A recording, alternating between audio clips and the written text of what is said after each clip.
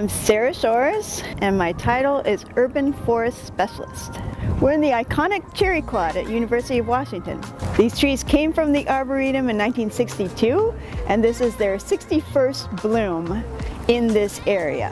Uh, they're approaching 90, they're around 90 years old and their lifespan is around 100 so we're hoping that they're going to live even longer because we're taking such good care of them so we're hoping to get a couple more decades out of them.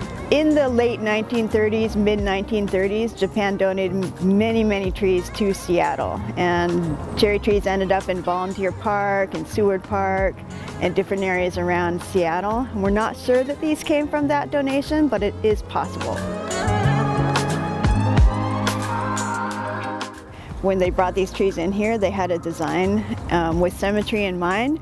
We've been lucky that we haven't had to replace trees for a while, and we're, we're thinking of a plan for the future to hopefully replace trees as these trees fail so we always have a huge canopy of cherry trees. Full bloom changes year to year depending on the weather and we consider full bloom when 70% of all of the flowers are open. There's no COVID requirements, you don't have to wear your mask but you're perfectly welcome to, whatever you're comfortable with. We're asking people not to climb the trees um, or shake the branches to make the petals fall because we want to keep the blooms as long as possible for everybody to enjoy.